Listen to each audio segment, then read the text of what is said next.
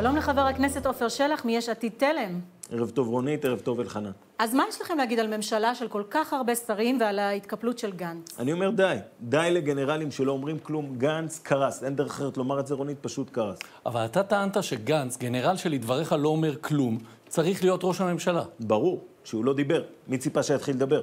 הוא נאם והתראיין. אה, רונית, מה זה קשור? הוא קרא את מה שכתבנו לו. ברגע האחרון הוא קרס, והבן אדם התחיל לדבר מהראש שלו. מה זה, הפקרות? אין בעולם פרומפטר. אתה רצית שאדם שאין לו דעות ינהל את המדינה? הנה זה מתחיל. אלחנן, תניח את דף המסרים מבלפור. אני מתנצלת, מר שלח, אז זה לאיזה. מסקנות הגעתם בעקבות הפירוק? תראי, רונית, חברנו לאנשים לא ראויים. בסדר? זה שהם היו רמטכ"לים לא מכשיר אותם לכלום. לא את גנץ, לא את אשכנזי ולא את בוגי. בוגי איתכם. מנהיג, מצביא, גנרל, אדם שמגיע עם ניסיון ועם כריזמה שטרם נראתה כמותה. בוגי? אמרתי, כריזמה שטרם נראתה כמותה. חבר הכנסת שלח, מה דעתך על הרעיון שעלה לאחרונה להקפיא את המצב לחצי שנה ואז להמשיך מהמקום בו הפסיקו? זה שחיתות. כרגיל, מה להקפיא? מה זה שניצלים?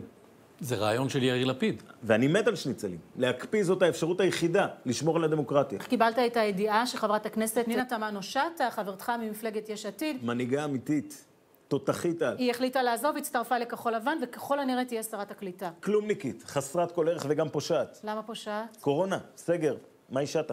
מה עמדתך בנושא החלת הריבונות ביהודה ושומרון? אלחנן, אני מתנגד לכך בנחרצות, וכתבתי זאת גם במצע של כחול לבן. אבל הנדל אמר שהמצע של כחול לבן תומך בסיפוח. זה מה שהיה יפה בזה. כמו יצירת אומנות, מכל זווית שאתה מסתכל עליו, אתה רואה משהו אחר. אז בעצם אתה מייצג דעות שמאלניות.